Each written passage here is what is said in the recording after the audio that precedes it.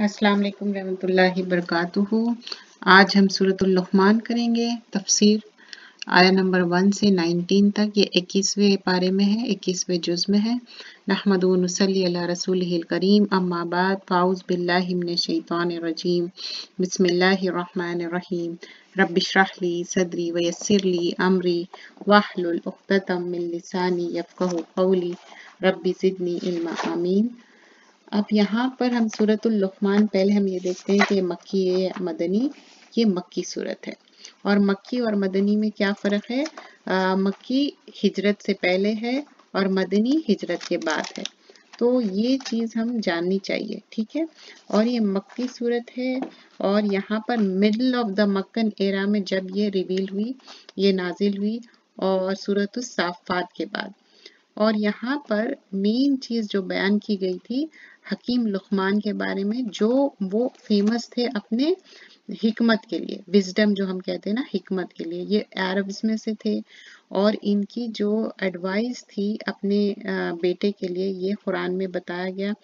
और यहाँ पर ये बात क्यों बताई जा रही क्योंकि मुशरकी ने मक्का को बताया जा रहा है कि देखो, ये तो तुम्हारे में से ही था ना जो अरब में से ही थे हकीम लुकमान, क्या उनकी भी बात नहीं सुनते?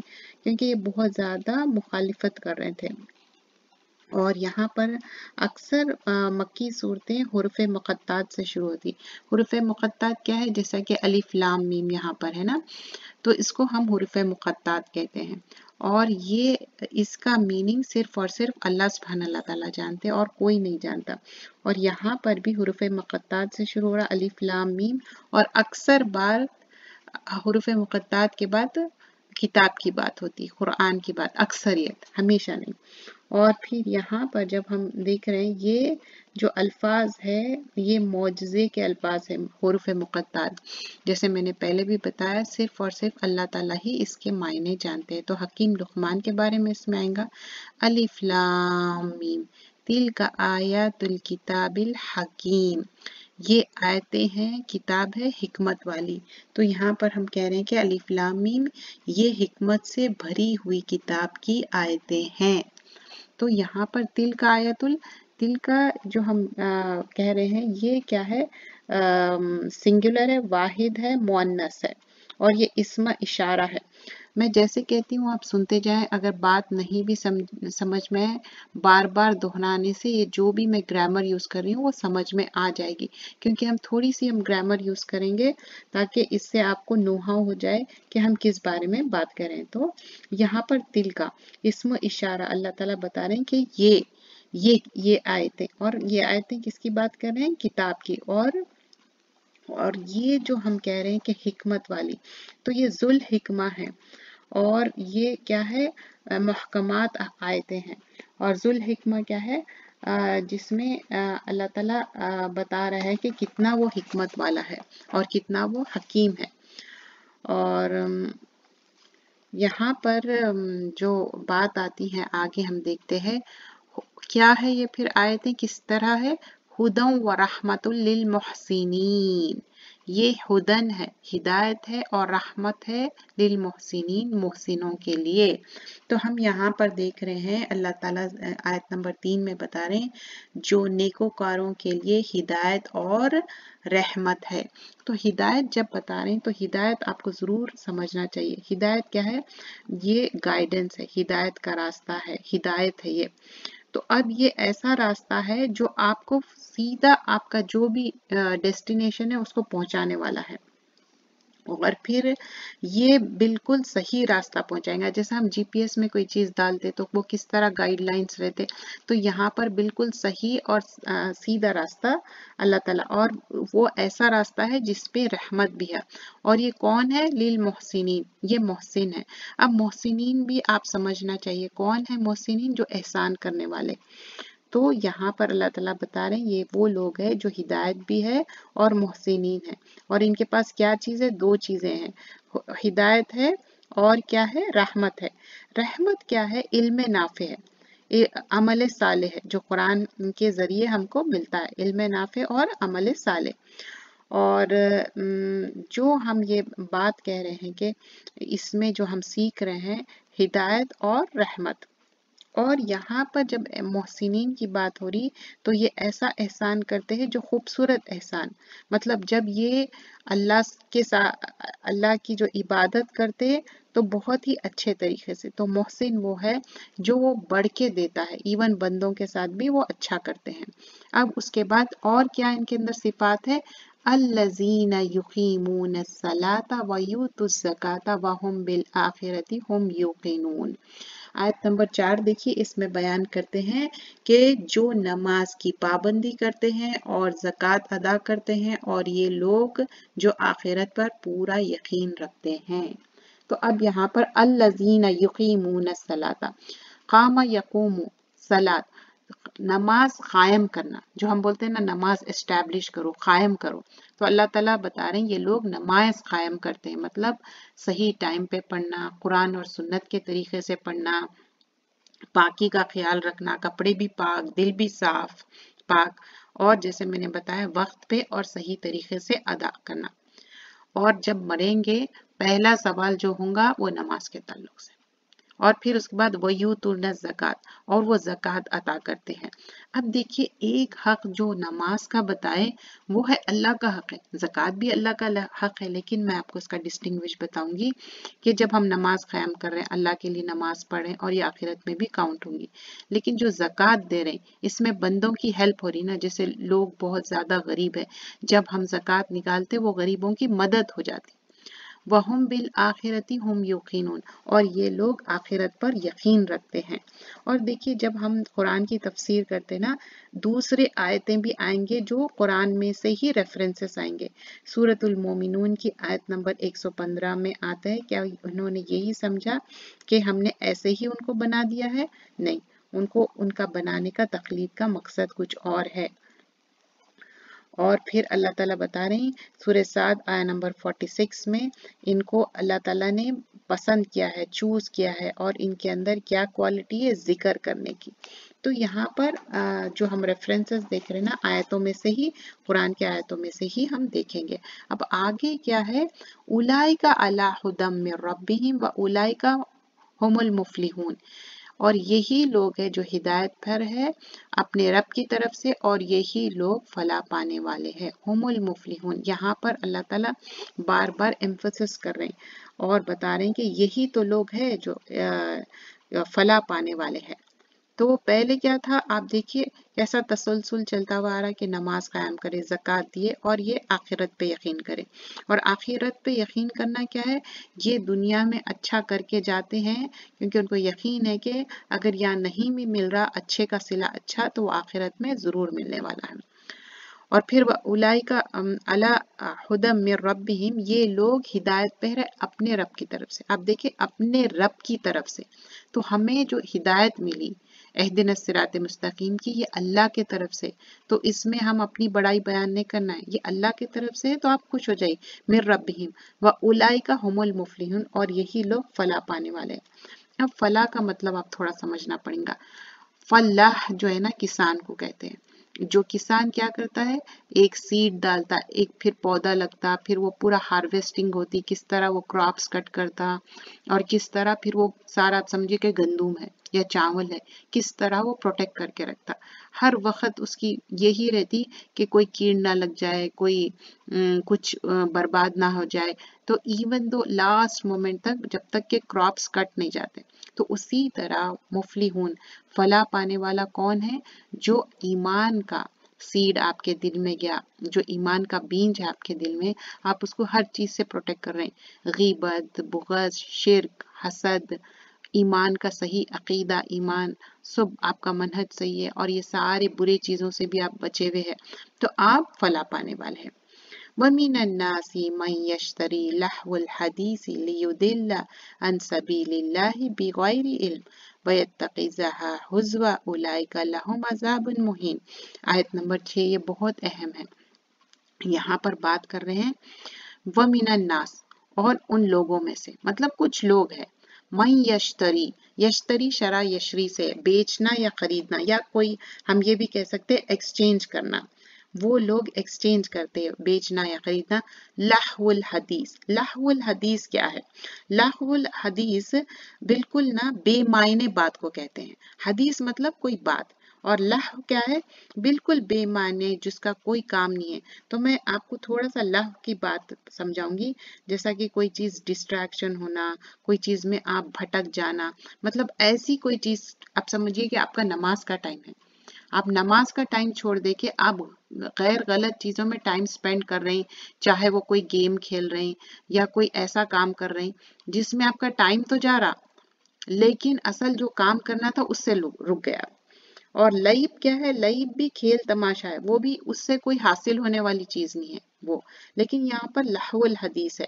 तो आप अपना इसमें बातचीत भी हो सकती या आप एक्शन जो काम कर रहे हैं वो भी हो सकता। अब जैसा फॉर एग्जांपल मैं आपको इसमें बताऊँगी कि आप ऐसी मन घड़क बातें कर रहे हैं जिससे कि कोई फ़ायदा नहीं है, ठीक है? वो बात हो सकती। या नहीं तो ऐसे कोई शेर अशार पेश कर रहे हैं जो बोलने में भी भद्दे है और जिससे आपको कुछ फ़ायदा नहीं है और उस तरह। और या ऐसे आप बातचीत कर रहे हैं जिससे लोगों को भी भटका रहे हैं, खुद भी भटक रहे हैं और काफ़ी टाइम उसमें स्पेंड कर रहे हैं, या आप कोई गेम देख रहे हैं, या आप कोई गेम खेल रहे हैं, इसमें कोई भी चीज़ होती है, आप घंटों घंटों उसमें टाइम स्पेंड कर रहे हैं।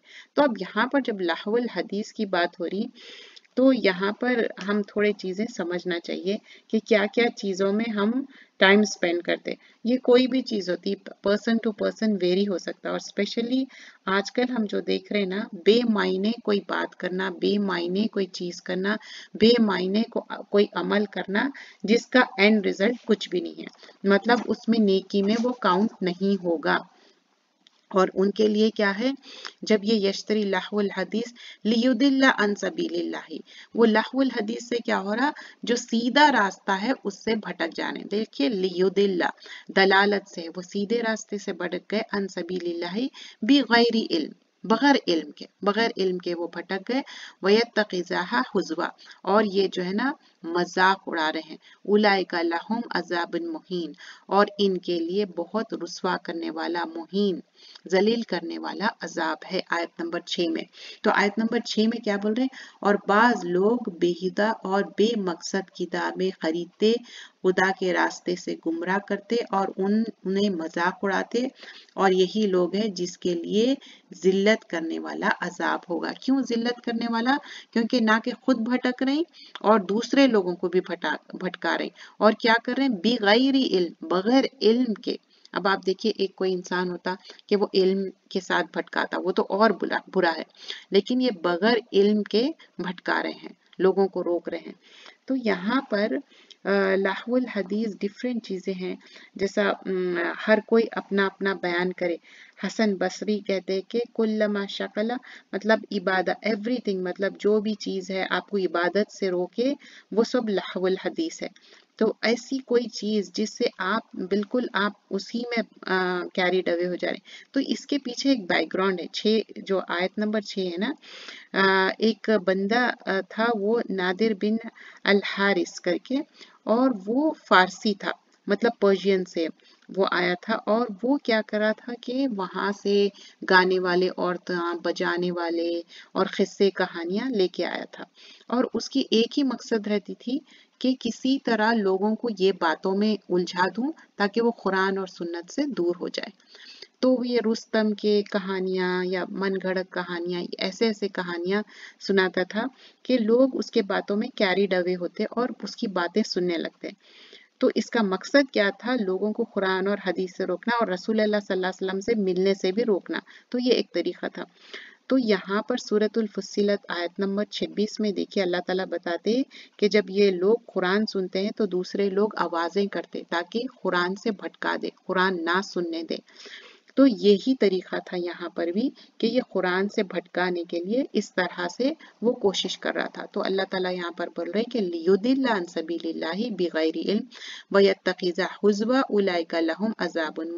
तो इनके लिए रुसवा कुन वाला अजाब है। व इजा तुतला अलैहि आयातुना।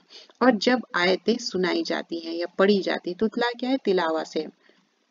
वल्ला मुस्तकब मुस्तकबिरा अब यहाँ पर वो क्या करते हैं? तक, तकबर करते हैं। कान अलम यस्मा और ऐसा जैसा कि उनके कान में सुने नहीं आया। क्यों? फ़ी उजुनी वक्रा। जैसा कि उनके कानों में कोई गिराहन है या उनके कानों में सुनने के लिए कोई प्रॉब्लम है। फबशिर बी अजाबिन अलीम। तो अल्लाह ताला कह रहे हैं कि बस अब इनको खुशखबरी दे दो। अजाबन अलीम बहुत ही तकलीफ़ दे अजाब का। तो आयत नंबर सात में अल्लाह ताला क्या फरमा रहे हैं? और जब उनके सामने हमारी आयतें पढ़कर सुनाई जाती हैं तो वो अकड़ कर मुँह फेर लेते हैं। गोया के उसने सुना ही नहीं, जैसा कि उसके कानों में सुगुल है। तो उससे दर्दनाक अजाब की खुशखबरी दे दो। अल्लाह ताला क्यों कह रहे हैं? दर्दनाक अजाब की खुशखबरी? क्योंकि अल्लाह ताला बहुत एंग्री है, बहुत गुस्से में है। और ये जो हम कह रहे हैं कि उसके कानों में गिराहन है या सखील है तो ये ये जो वक्रा है ना सिखिल के लिए आता। कोई चीज़ आपके कानों में हैवीनेस है तो आपके कानों से टकरा के वो बात अंदर नहीं जा रही। और वो आपको सुने नहीं आ रही। आप समझ रहे ना कानों से टकरा के वो निकल जा रही। आपके कानों के अंदर नहीं जा रही। यस्मा काना फ़ी उजुनी वकरा। फबशिरुल बे अजाबिन अलीम। जब कोई इंसान पहले तो बात क्या है? वल्ला। और आ, आयतों से मुँह मोड़ना। ये फिजिकली भी मुँह मोड़ना है और एज वेल एज कम्प्लीटली सुनना भी नहीं है ना अमल करना है। और मुस्तकबिरन क्या है? तकबर करना। काना लम यसमहा काना फ़ी उजुनी बकरा। ना के तकबर करना, मुँह मोड़ना ऑन टॉप ऑफ़ दैट कान से सुनना भी नहीं, दोनों कान, उजू नहीं है, दो कानों की बात हो रही है। बकरा और इनके कानों में बिल्कुल जैसा कोई चीज़ सुने नहीं आ रही तो उनके लिए अजाबुन अलीम है। और सूरत फुसिलत आयत नंबर 44 में भी अल्लाह ताला बता दे, असल तो कुरान क्या है? शिफा है। और हिदायत है किसके लिए? मोमिनों के लिए। लेकिन जो लोग सुनना नहीं चाहते, उनके लिए कानों में, उनके लिए सुनाई नहीं देगा। वो डेफ है, उनके कान में नहीं सुनाई देगा। ये वो सूर्य फसीलत में भी अल्लाह ताला यही बात बयान करते कोई इंसान हिदायत नहीं लेना चाहता ना। अब देखिए, कानों का इस्तेमाल करना है कुरान सुनने, पढ़ने, अमल करने। अगर कोई इंसान कानों का इस्तेमाल कर रहा लाहौल हदीस के लिए, गाने बजाने, अपने नफ्स पे चलने के लिए, और गाने बजाने का मैं ये भी बताऊँ कि यहाँ पर कोई ऐसी दलील नहीं है जिसमें ये बताया गया कि नहीं, आप गाना बजा सकते या सुन सकते नहीं। जबकि मना किया गया। ये गाने या ये जो म्यूज़िक इंस्ट्रूमेंट्स है, इससे आप पे क्या होता, आपके नफ्स पे ये चीज़ भारी होती। तो आप जब कुरान और सुन्नत, फिर आप इससे दूर हो जाते, जो लाहुल हदीस है। लेकिन आप जब कुरान सुनते और बार बार हदीसें सुनते तो आपका दिल नरम होता और उससे क्या होती शिफा और हिदायत उनको मिलती। लेकिन ऑन द कॉन्ट्ररी अगर जो नहीं सुनना चाह रहे तो फिर उनके कानों में मसला है, सुन भी नहीं सकते। सूरत इसरा आयत नंबर 82 में भी अल्लाह सुबहान तला फरमाते ये शिफा और रहमत है मोमिनों के लिए। लेकिन जो सुनना नहीं चाहते, उनके लिए कंप्लीट खसारा है। तो जैसे मैंने बताया, जो लोग नहीं सुनना चाह रहे उनके लिए सिर्फ़ खसारा ही खसारा है। और फिर उसके बाद आगे हम देखते हैं आयत नंबर आठ से। अब वहाँ पर इन लजीन आमनु व अमिलुसालिहात लहुम जन्नातुन नईम।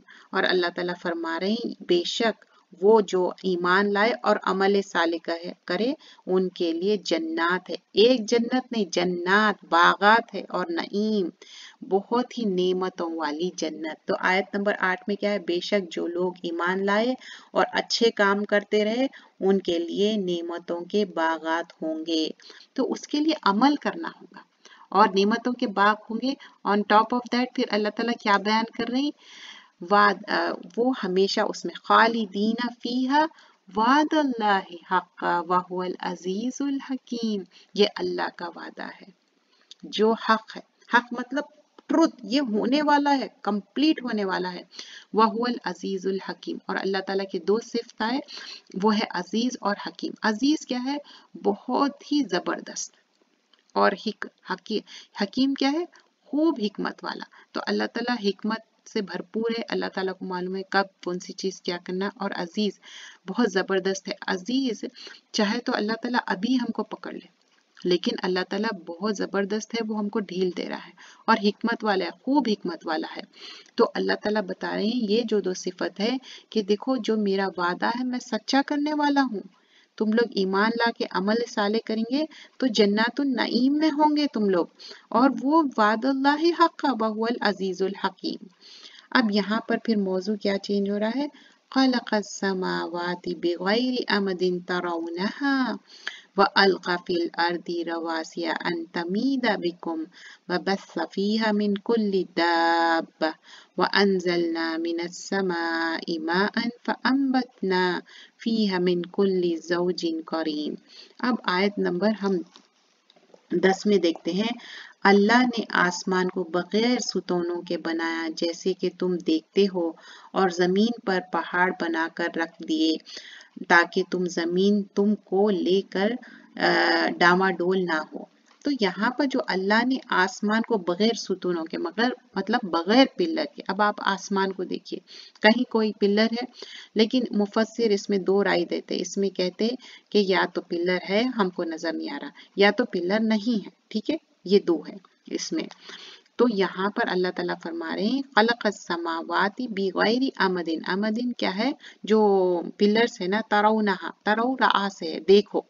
व अल खफिल अर्दी। और उसके बाद बोल रहे कि ठीक है, आसमानों में देखो, आसमान के नीचे कोई पिलर्स नहीं है। जब आप कोई भी घर में आप जाओ ना, पिलर्स पे पूरा स्ट्रक्चर ठहरे हुआ रहता। तो वैसे ही स्काई हमारा ठहरे हुआ है, आसमान ठहरे हुआ है, लेकिन कोई पिलर नहीं नज़र आए वह अलका फिल अर्दी रवासिया तो और तुम नज़र देखो कि किस तरह ज़मीन है फैली हुई रवासी और उस पे माउंटेन्स है। पहाड़ है, रवासिया राशि के रासिया की जमा है तो रवासिया बहुत से पहाड़ है। अन तमीद बिकुम बसफीहा और क्या है उसको किस तरह जैसा पहाड़ कैसे मालूम, जैसे कीले डालते तो किस तरह कोई चीज़ हम स्टेबल रखना चाहते तो क्या कहते कीला मारते। और वो क्या हो जाता, चिपक जाता तो उसी तरह ये पहाड़, उसी तरह है, ज़मीन को क्या करे, कीलों की तरह है और वो ज़मीन बिल्कुल ठहरी हुई है। अब आप जब चलते या गाड़ी चलाते क्या ज़मीन इधर से उधर कोई हिल रही? नहीं। और फिर उसके बाद बता रहे हैं फीहा बस्सा। मतलब ऐसा नहीं है कि ज़मीन जो है ना बिल्कुल आ, कोई बुरा बुरा हो जा रही या स्कैटर्ड हो जा रही ऐसा कुछ नहीं है। या हिल रही क्या ज़मीन? नहीं, वो तो अर्थ को आया तो आपको पता चल जाता। लेकिन नहीं हिल रही फ़ी हवा कुल्ली दाबा और बता रहे हैं कि हर रेंगने वाला जो इंसेक्ट रहता ना, रेंगने वाले जो क्रॉलिंग क्रीचर्स रहते तो वो सारे क्रॉलिंग की क्रीचर्स जो इंसेक्ट्स है, किस तरह? जो आप देखे होंगे ना, बहुत सारे पैर रहते जो कीड़ों को, या that's the thing I am talking about जो कीड़े रहते हैं ना, बहुत सारे पैरों वाले, उनकी बात कर रहे कि किस तरह उन लोग है, वो भी चल रहे फिर रहे वह अनजला मिनस समाई मान, और किस तरह बारिश भेजे अल्लाह तला आसमान से। आसमान से बारिश भेजे, इसलिए ओशंस है रिवर्स है, ये सब कहाँ से आया पानी? और ज़मीन में भी कहाँ से जा रहा पानी? आसमान से, अमीन समाई मान और आसमान से पानिया। फअम्बदना फिर अल्लाह ताला क्या करे? नबातात उगाए। फीहा मिन कुल्ली जौजिन करीम। और नबातात क्या है? हर किस्म के। जौज क्या है? इसमें जोड़ा भी है और किस्म किस्म के है। और करीम क्या है? बहुत ही उम्दा, बहुत ही अच्छे, बहुत ही हाई क्लास ज़बरदस्त। और करीम अल्लाह ताला के नामों में भी है। तो अब यहाँ पर जो नबातात उगाना चाहे फ्रूट्स है वेजिटेबल्स है, कोई भी चीज़ है, आप देखिए, एक तो इसमें क्या है? फीहा कुल्ली जौजिन मतलब इसके जो है ना वैरायटी है। अब आप फॉर एग्जांपल अंगूर ले लीजिए। अंगूर में कितनी वैरायटी है? ग्रीन है ब्लैक है ग्रीन में भी छोटे है, बड़े है सीडलेस है सीड के साथ है। ऐसे ही और फिर क्या है सऊजिन करीम क्या है, वो खाए ना तो डिलीशियस भी है, देखने में भी बहुत अच्छे है, बहुत उम्दा है, उसकी क्वालिटी भी बहुत अच्छी है तो अल्लाह ताला बता रहे अच्छा और जौजिन में क्या है जोड़े जोड़े भी है, जैसा कि अंगूर है, काले भी है ग्रीन भी है, वैसी क्या है, अलग भी है, अलग किस्म के भी है, दूसरे वराइटीज भी है। तो यहाँ पर अब जैसा कि दूसरे फ्रूट्स भी है तो यहाँ पर बता रहे हैं कि किस तरह अल्लाह ताला जोड़ों में बनाए और किस तरह अलग अलग किस्म के बनाए ताकि हम खाए। और सारी चीज़ क्या पे डिपेंड है? पानी पे। बिल्कुल। और फिर, हाजा कलकुल्लाही फरूनी, माजा कलकल्लजीन मिन दूनी बलिमीन मुबीन। अब यहाँ पर आयत नंबर 11 में फरमाते कि अब यहाँ पर आप देखो, आयत नंबर 11 में बोल रहे कि ये सारे जो भी है ना, अल्लाह ताला अल्लाह ने आसमानों को बगैर सुतूनों के बनाया जैसे तुमने देखा, और ज़मीन को पहाड़ बनाकर रख दिया। और फिर ताकि ज़मीन तुमको लेकर डामाडोल ना हो। और मैंने हर किस्म के जानवर फैला दिए। देखे मैं, जैसे मैं बताई थी ना क्रॉलिंग क्रीचर्स और हमने आसमान से पानी बरसाया फिर उस ज़मीन में हर किस्म की नफीस चीज़ें उगाई। ये तो अल्लाह की पैदा की हुई चीज़ें हैं तो वो मुझे दिखाओ कि अल्लाह के सिवाय जो है उन्होंने क्या पैदा किया है, बल्कि जालिम खुली गुमराही में मुब्तला है। तो अल्लाह ताला यहाँ पर नेक्स्ट आयत में बता रहे हैं, आयत नंबर 11 में, ये सारे चीज़ें अल्लाह ने पैदा की है। क्या अल्लाह के अलावा कोई और है? नहीं। अगर कोई कह रहे कि कोई और है तो वो लोग जुल्म कर रहे हैं। बल ज़ालिमीना फ़ी दलाली मुबीन। क्यों कह रहे हैं कि अगर अल्लाह के अलावा कोई और है तो ये लोग गुमराही में है, इसलिए कि सिवाय अल्लाह के कोई और है ही नहीं। तो इसीलिए वो लोग गुमराही में हैं। और अब यहाँ से आयत नंबर 12 से हकीम लुकमान का जो है ना, किस्सा शुरू होता हकीम लुकमान जो है ना, ये हिकमत के लिए बहुत ज़्यादा फ़ेमस थे अरब्स कल ये अरब्स फैमिली के थे, बहुत ही हिकमत वाले, बहुत वाइज इंसान थे और कुछ लोग बोलते कि बहुत ये नॉलेजेबल पर्सन थे और ये अल्लाह की इबादत करते थे और इनका अकीदा सही था और कुछ लोग फरमाते हैं कि ये रसूल अल्लाह सल्लल्लाहु अलैहि वसल्लम से पहले आए। कुछ बताते दाऊद अलैहिस्सलाम अल्लाह आलम, सही बात क्या है? और लेकिन एक बहुत ज़्यादा इनकी फ़ेमस स्टोरी है, जिसमें बयान करते कि इनसे पूछा गया कि बकरे में दो ऐसे पीस बताओ जो बहुत ज़्यादा फ़ायदेमंद है। तो उन्होंने कहा कि दिल और ज़बान। और फिर जब उनसे पूछा गया कि दो जो ऐसे बताओ पार्ट्स जो नुकसान दे तो भी उन्होंने कहा कि दिल और जबान। तो लोगों ने कहा कि आपने जब फ़ायदेमंद में भी यही कहा और नुकसान में तो कहा कि हाँ जो इंसान अपने दिल और जबान को रोक ले तो वो सिर्फ़ उसके लिए फ़ायदा ही फ़ायदा है। और फिर उसके बाद हकीम लुकमान के बारे में ये आता कि उन्हों, वो अपने सही अकीदे ईमान पे थे और अपने बेटे को जो ताकीद के, किए, वो यहाँ पर कुरान में मेंशन किया गया और वो सच्ची बात करते थे और वो वो इथोपियन थे। कुछ लोग बताते कि वो इथोपियन थे मतलब डार्कर स्किन थे। लेकिन एक हदीस में आता है जिसमें बताते कि अल्लाह ताला सूरतें नहीं देखता, अल्लाह ताला आमाल देखता। तो आप कभी भी ये अपनी रंगत पे मत जाइए कि हाँ ये डार्क स्किन है, ये लाइट स्किन है, उससे कोई फ़र्क नहीं पड़ता। क्योंकि हमेशा अप्रिशिएट किया गया डार्कर स्किन को। और एक यहाँ पर एक बात बयान करूँगी मैं कि जो लोग डार्कर स्किन थे, जैसा कि हबशी बिलाल जो अजान देते थे ना, वो भी डार्कर स्किन के थे। इवन लुकमान के बारे में, हकीम लुकमान के बारे में आता कि वो भी डार्कर स्किन के थे। तो देर इज़ नथिंग रॉन्ग अल्लाह ताला मोहब्बत करता हमारे आमाल से, हमारे सूरतों से नहीं। तो हम भी अपने एक दूसरे के अमाल से, और सूरतों का हमारे हाथ में नहीं है, ये अल्लाह के हाथ में है। अच्छा अब जो हिकमत की हम बात आगे करेंगे, हिकमत क्या है? सही बात पे, सही बात सही टाइम पे करना और सही चीज़ सही जगह रखना और हिकमत क्या है? फहम और फिरासत। इब्ने अब्बास बताते इसमें फहम और फिरासत यूज़ करना और हिकमत ये है कि आप जो है ना वो चीज़ों से रुक जाना जो आपके लिए प्रॉब्लम क्रिएट करे और वो चीज़ें करना जो आपको ज़रूरी है। तो ये चीज़ भी और हिकमत में सबसे इंपॉर्टेंट चीज़ है शुक्र गुजारी इसमें शुक्रगुजारी में फिर हम देखते हैं, एतराफ़ नेमत, इजहार नेमत। एतराफ़ नेमत मतलब आप नेमतों का एतराफ़ कर रहे हैं कि हाँ मेरे पास है। और इजहार नेमत हम कैसा कर रहे हैं? अपने दिल से, अपने जवारे से मतलब दिल से कैसा कर रहे हैं कि अल्लाह का शुक्र अदा कर रहे हैं। और जवारे मतलब अपने बॉडी पार्ट से, नमाज़ पढ़ रहे हैं, कुरान पढ़ रहे हैं, ये चीज़। तो ये क्या है? हम एक एक्शन में भी एक चीज़ ला रहे हैं। तो अब हम हकीम लुकमान का जो हम देखते हैं, यहाँ पर से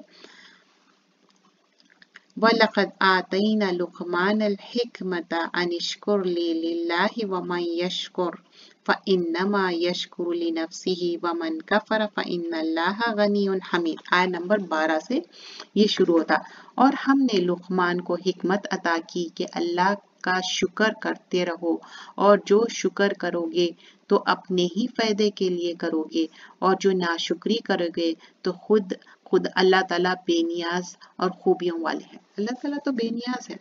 अगर हमारी शुक्र की ज़रूरत हमको है, ये फ़ायदा हमको होने वाला है। तो यहाँ पर फ़र्स्ट क्या है? वलकद आतना लुकमाना और अल्लाह ताला यहाँ पर बता रहे हैं और अलबत्ता तहकीद के हमने वह क्या अता किया लुकमान को? हिकमत। क्लियरली आयतों में बयान कर रहे हैं कि हिकमत ये। अनिश्कुरली वमई यशकुर अब ये के शुक्र करो अल्लाह का। अनिश्कुरली क्या है? अल्लाह का शुक्र अदा करो। वमई यशकुर फ़िन नमा यशकुरो। अगर कोई नाशुक्री कर रहे हैं, ले नफ्स ही। अपने नफ्स के लिए नाशुक्री कर रहे हैं। वमन का फराफा इन अल्लाह अगर तुम कुफर, यहाँ पर क्या है? कुफरानी नेमत भी है और कुफर क्या है? लिटरली कुफर भी है। मतलब आप ईमान का इनकार कर रहे हैं। ये दो भी चीज़ें आ जाएँगी, ठीक है?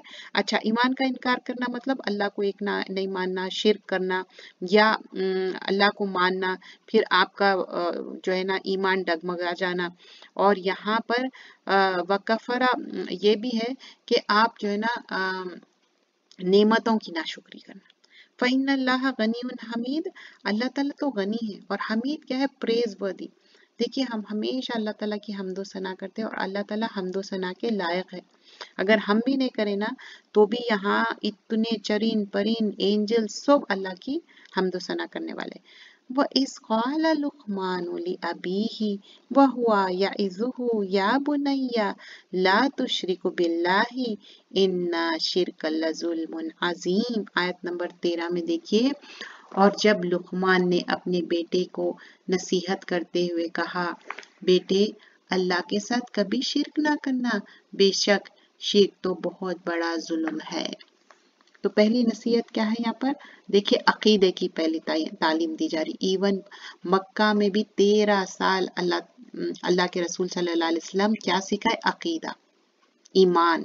सही अल्लाह को एक मानना, शिरक नहीं करना। तो यहाँ पर भी क्या है? वह इसकाला लुकमान ली अभी ही अभी बुनैया से मतलब प्यार से अपने बेटे को कह रहे हैं। वह हुआ याइजुहु। याइजुहु क्या है? वास से है। नसीहत करना। ऐसी नसीहत जो मोहब्बत भी भरी हुई हो और जो आपके लिए काम आने वाली है। तो यहाँ पर अपनी औलाद, अपने बेटे को नसीहत कर रहे हैं कि देखो, ये ये चीज़ करो। तुम्हारे लिए बेहतर है। और क्या नसीहत कर रहे हैं? यहाँ पर फ़र्स्ट चीज़ समझा रहे हैं कि देखो शिरक मत करो। या इजुको बुनैया ला तो श्रिको बिल्ला है अल्लाह के साथ शिरक मत करो। अच्छा अल्लाह के साथ शिरक नहीं करना क्या है? आप बोल रहे हैं, अल्लाह ताला एक है, सब है। फिर बोल रहे हैं कि नहीं, हम फला दरगाह पे जाते या फला आस्थाने पे जाते, वो भी हाजत रवा, मुश्किल कुशा है। नहीं, सिर्फ़ और सिर्फ़ अल्लाह है। सारे मुश्किलें, सारे परेशानियाँ सब कुछ देने वाला अल्लाह ही है। वही माबूत है, वो खालिक, मालिक, मुदब्बिर है। ला तो शरीक बिल्ला है और फिर उसके बाद क्या बोल रहे हैं? इन्ना शिरका ला जुल्मुन अजीम। शिरक क्या करना है? जुल्मुन अजीम है। ये बहुत बड़ा जुल्म है। तो अब जब बोल रहे हैं इन्ना शिरका तो अब ये बात भी आपको समझने की ज़रूरत है। तो अब जो शिरक की बात हो रही कि मुशरकी ने मक्का क्या करते थे? अल्लाह ताला को एक मानते थे।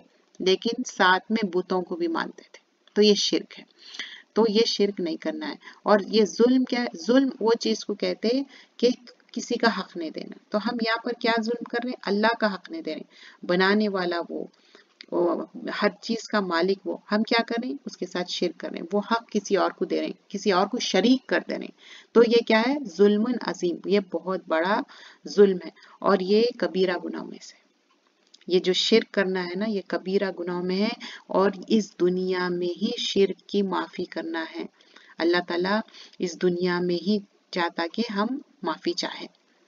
अब आयत नंबर चौदह से अब यहाँ पर बहुत ही अच्छे प्यारी तरीके से बताया गया, और हमने इंसान को अपने माँ बाप के साथ हुस्न सलूक करने के लिए ताकीद की है, उसकी माँ ने तकलीफ़ उठाकर उसको पेट में रखा, फिर उसको दूध पिलाती रही।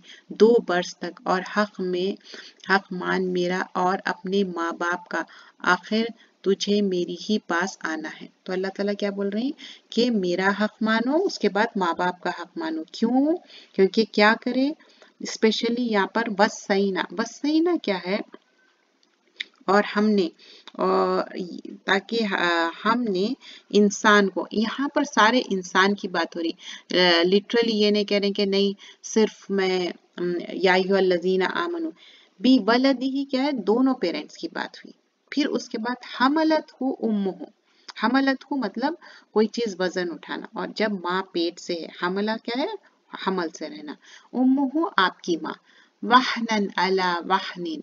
मतलब एक कमज़ोरी के बाद एक कमज़ोरी। वाहनन अला वाहनिन, ये समझने की ज़रूरत है। मतलब प्रेगनेंसी बच्चा हुआ, फिर बच्चे को दूध पिलाए, बच्चे को बड़ा करे, ये वाहनन अला वाहन है। एक कमज़ोरी के बाद दूसरी कमज़ोरी। वह फिसालुहु। और ये फिसाल क्या है? फिर उसका जो टाइम था, अब दूध पिलाने का जो टाइम है ना, वो बता रहे हैं। कि एक बार तो कमज़ोरी उठा लिए फिर उसके बाद फिसालू क्या है? और वो जो दूध छुड़ाने का जो टाइम रहता है ना, फिसाल क्या है? फ़सल से अलहदा होना। फिसालू आमेन। अब आमेन क्या है? दो साल। और ये चाँद की तारीख से दो साल। तो फिसाल फ़सल से है कि आपका बच्चा देखिए आपके करीब रहता अब आप दस मतलब चार, पाँच मरतबा तो आप उसको नर्स करेंगे फ़ीड करेंगे, दूध पिलाएँगे। अब फिसाल क्या है, जब आप उसको दूर कर रहे हैं, वो दो साल का हो जा रहा। तो फिसाल अलग कर दे रहे हैं उसको, दूर कर दे रहे हैं। तो फिसाल हो। फ़ी आमीन दो साल में, अन उश्करिल्ली विवलदिका फिर अब तुम क्या करो, शुक्र अदा करो। दोनों पेरेंट्स का तुम शुक्र अदा करो, लेकिन माँ का इसमें ज़्यादा बयान किया गया है। रसूल वसल्लम से कोई आके सहाबी पूछते कि किसका ज़्यादा हक है, उम्मी की उम्मी की। तो अल्लाह के रसूल सल्लल्लाहु अलैहि वसल्लम बयान करे कि अपनी वालदा के साथ उसने सलूक करो, तीन बार बयान करे वालदा के साथ। फिर उसके बाद चौथी मरतबा पूछा गया तो बोले कि अभी की मतलब आपके वालिद साहब के साथ। और फिर उसके बाद यहाँ पर ये बता रहे हैं कि वालदेन के साथ उसने सलूक करो अच्छा करो, फिर वापस तो इलई मसीर मेरे पास वापस आना है। मेरे पास लौट के आना है। अब फिर उसके बाद आगे हम देखते हैं। अब यहाँ पर तो पेरेंट्स की बात करें तो अब यहाँ पर पेरेंट्स की बहुत ज़्यादा इंपॉर्टेंस है। एक तो नौ महीने माँ पेट में रखे, दूध पिलाए और आपका ख्याल भी रखे। और अगर वो तुझे मजबूर करने के तू मेरे साथ किसी को शरीक करके, जिसका तुझको कोई इल्म ना हो तो उनका हुक्म ना मानना और दुनिया का कामों में ज़रूर उनका साथ देना और जो मेरी तरफ़ रुजू करे, उनका साथ देना। पूरी तरह से फिर तुमको मेरी भी तरफ़ लौटना है तो मैं बताऊँगा तुम क्या करते थे। अब आयत नंबर पंद्रह में क्या बता रहे हैं कि देखो, वह इन जाहद का अला अन तुशरी का भी। अगर पेरेंट्स बोल रहे हैं कि शिरक करो तो नहीं करना तो यहाँ पर एक सहाबी थे, उनकी माँ बहुत फोर्स करते थे कि मैं खाना छोड़ दी, ये छोड़ दी, तुम शिरक करो। फिर भी वो सहाबी शिरक नहीं करते थे। लेकिन आगे की पूरी आयत सुनिए। शिरक नहीं करना है, माँ लई सल का भी इल्म फला तो बोल रहे कि ठीक है, इसमें तो शिरक नहीं करना है, लेकिन दुनियावी उसमें आप उनका ख्याल रखेंगे। साहिब साहिब, सहाबा किसको बोलते हैं? जो रसूल वसल्लम के साथ थे, उनके साथ मतलब जब वो थे, ईमान लाए, उनके साथ टाइम गुजारे। तो सोहबत किसको बोलते जो वक्त गुजारना। तो वो साहिब हुमा मतलब दो पेरेंट्स के साथ still you have to spend time आप उनके साथ टाइम गुजारो। फिर दुनिया दुनिया में मतलब इवन दो लोग शिरक कर रहे हैं। शिर के हर तक तो आप उन, उनका साथ नहीं देंगे। लेकिन दुनिया में उनका साथ दो मारूफा। फिर दुनिया मारूफा। और यहाँ पर साहिब हुमा क्यों आया? कि ताकि तुम उनको कंपेनियनशिप दो उनका साथ दो उनका ख्याल रखो। दैट्स व्हाट इट मींस अब ये नहीं है कि देखो मेरे पेरेंट्स तो शिरक करते पब्लिसाइज करो। भाई उनकी इसलाह करो और दुआ करो। फत्तबी सबीला मन अनाबी इला सुम्मा इलई मर्जियकुम तो अब आयत नंबर पंद्रह में फिर से अच्छी तरह समझिए। और अगर वो तुझे मजबूर करे कि तू मेरे साथ किसी को शरीक करे जिसको तुझको इल्म नहीं तो ना करे। इस पे अमल नहीं करना है। लेकिन दुनिया के कामों में ज़रूर उनका साथ देना है और जो मेरी तरफ़ रुजू करे, उनका साथ देना है। मतलब जो अल्लाह की इतात कर रहे हैं, रुजू कर रहे हैं, वो साथ देना है। फिर तुमको मेरी ही तरफ़ लौट के आना है। मैं बताऊँगा तुम क्या करते थे। तो अल्लाह ताला बता रहे बीमा कुन तुम तामल तुम जो भी करते थे, अल्लाह ताला खूब जानते हैं। फिर अब आगे देखिए ए मेरे बेटे अगर कोई अमल राई के दाने के बराबर हो और वो भी किसी पत्थर के अंदर या आसमान में मख्फी हो या ज़मीन में हो तो अल्लाह उसको भी ला, ला लेगा। बिलाशुबा अल्लाह तो बड़ा बारीक बीन और खबरदार है। आयत नंबर 16 में या बुनैया फिर वही प्यार वाली मोहब्बत वाली बात कितना या बुनैया ऐ मेरे प्यारे बेटे ऐ मेरे प्यारे इन नहा इन तकू मिसकालत खब्बतिन। छोटे राय के बराबर भी कोई चीज़ अगर छुपा दिए चाहे वो आसमान में हो, ज़मीन में हो या पहाड़ में हो, अल्लाह ताला वो उसका जानता है। मतलब हम छोटा सा अमल करें, गलत अमल करें, कोई बैक बाइटिंग गीबत चुगली हसद कीना, कपट, कोई गलत काम, अल्लाह से कुछ चीज़ छुपी हुई, कोई मख्फी नहीं है। अल्लाह ताला जानता, वो देख लेता है। और क्या है? इन अल्लाह लतीफुल खबीर। लतीफ क्या है? बिल्कुल बारीक बीन। और खबीर क्या है? हर चीज़ की खबर रखने वाला है। चाहे छोटी सी माइन्यूट सुई के उतनी चीज़ हो या बड़ी ह्यूज चीज़ हो कैमिल के उतनी अल्लाह नोज़ एवरीथिंग अल्लाह ताला सब चीज़ जानने वाला है। चाहे पहाड़ में छुपे हुए आप कभी देखिए, पहाड़ कैसा कंप्रेस्ड रहता कोई चीज़ छुप जाए तो देख नहीं सकते। या आसमान में फिर समावाती, या ज़मीन में फिर अर्दी फिर भी अल्लाह ताला हर चीज़ का जानने वाला है। फिर उसके बाद क्या हुक्म दे रहे यह बुनैया अकीमुसलाता ऐ मेरे बेटे, नमाज़ की पाबंदी पाबंदी से अदा करना रह, अदा करते रहना और अच्छी बातों का हुक्म करते रहना और बुरी बातों से रोकना और मुसीबत पर सबर करते रहना, जो तुझे पहुँचे बिलाशुबा, ये बड़ी हिम्मत का काम है। अब ये बात बहुत ही इंपॉर्टेंट है आयत नंबर सत्रह में। या बुनैया अकीमुसला नमाज़ कायम करो। व अमर बुल मारूफ व अनहाउ अनिल मुनकर। नेकी का हुक्म दो और बुराई से रोको। अब ये चीज़ मुश्किल है, जब आप लोगों को नेकी का हुक्म देते और बुराई से रोकते, लोग यहाँ पर माइंड करते। आपके ऊपर हो सकता कि बहुत ज़्यादा चीखने चिल्लाने लगे। और नेक्स्ट चीज़ क्या है? कह रहे कि वसबिर असाबका अब सबर करो। वो जो भी कुछ कहे, उस पर सबर करो। तो ये चीज़ हमेशा माइंड में रखना चाहिए। जब हम दीन का पैगाम हो या दुनिया की बात हो तो उसके बाद सबर करना है। तो क्या है? वसबिर अला मा असाबका। इन नजालिका मिन अजमिल उमूर। ये क्या, ये जो बातें हैं पहुँचा बिलाशुबा ये बड़ी हिम्मत के काम है। ये जो भी काम कर रही है, बहुत हिम्मत के काम है। ये आसान काम नहीं है? फिर और लोगों के सामने मरे गुरूर के अपने गले ना फुलाना, ज़मीन पर अकड़ कर ना चलना। बेशक अल्लाह किसी मुतकबिर फखूर करने वाले को पसंद नहीं करता। बलकत तुसर कद का लिन्नास मतलब अपने जो गालों को जो है ना, अपनी जो गाल है, उसको बहुत ऐसा समझना कि बहुत ऊँचा समझना अपने आप को सबको नीचा समझना दैट काइंड ऑफ़ थिंग और लोगों के सामने मारे गुरूर के अपने गाल फुला लेना। समझ रहे ना? अपने गालों को फुला लेना और अपने आप को तकबर करना और ज़मीन पर अकड़ कर चलना। और और बोल रहे कि वल, वला तमशी फिल अर्द। और ज़मीन पे अकड़ कर मत चलो। और बेशक अल्लाह किसी मुतकबिर या फखूर को पसंद नहीं करता। तो मुतकबिर और फखूर को पसंद नहीं करता और इबादुर रहमान कैसा रहता, उसकी चाल नरमी की रहती। तो हमको फखूर नहीं करना है, ना गाले फुला के चलना है और गाले फुलाने में ये भी है मुँह बनाना, लोगों के सामने भी बात कर रहे हैं और निकल जाना, ये सारी चीज़ें नहीं करना है।